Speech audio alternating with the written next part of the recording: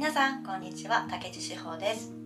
今回はですね私人生初めての人間ドックを YouTube でお届けしたいと思います。年に一度事務所の健康診断を受けてはいたんですけど人間ドックってなるとちょっと腰が重くて今まで受けたことがなかったんですけど英検を出産して自分一人だけの体じゃなくなったので今の私の体と向き合ってきたいと思います。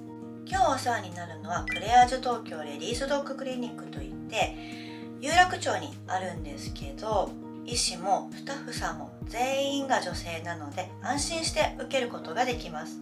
男性がいると恥ずかしかったり気を使っちゃったりそれがネックになって人間ドック受けてみたいけどなかなか受けられないっていう女性も多いんじゃないでしょうか。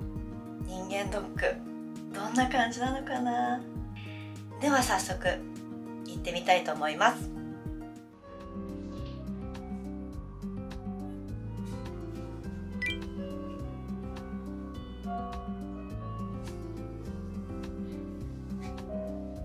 ここが更衣室になりますね。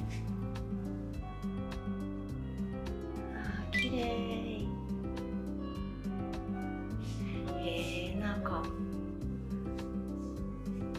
級ホテルのスパみたいですね。私のロッカーが14番。なのでここですね。早速診察着に着替えてみたんですけどかわいい。診察着までおしゃれです。スタイリストのドド千春さんのデザインみたいですよ。では早速人生初の人間ドックへ行きたいと思います。ちょっとドキドキしますね。すごい開放的でおしゃれで気持ちのいい院内ですね。こんにちは。よろしくお願いします、えー今日私が受けたのは有検診の30代というコースですね。まずはじめにこの婦人科室ではい。この内診台に乗って経腟エコーで、えー子宮と卵巣の状態を見て子宮頸がんの検査をしました。でこういう風にまあ今は映ってないですけどモニターがあって今の自分の子宮とか卵巣の状態がどういうものなのかを説明を受けながら見れたんですごい分かりやすくてよかったです。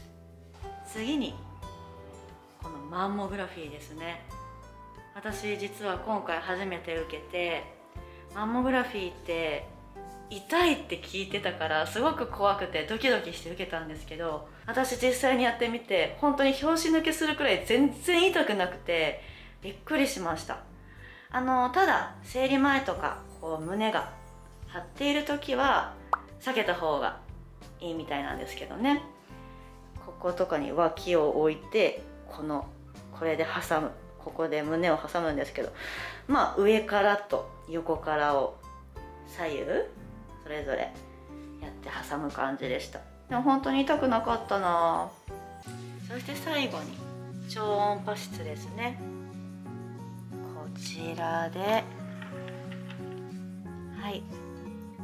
このエコーを使ってマンモグラフィーでも胸を調べたんですけどエコーでさらに詳しく調べてもらいます。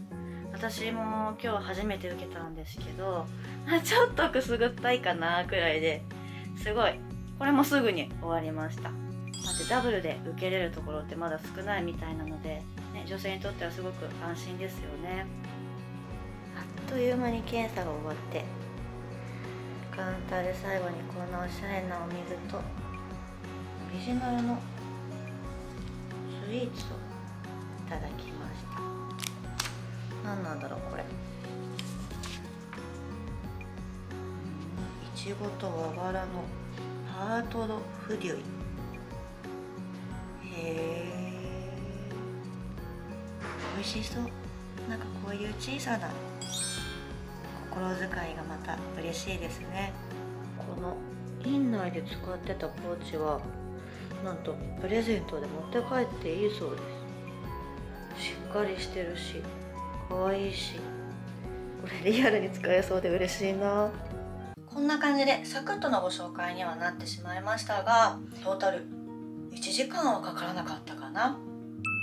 ちなみに私が受けたのは有形診30代というコースです。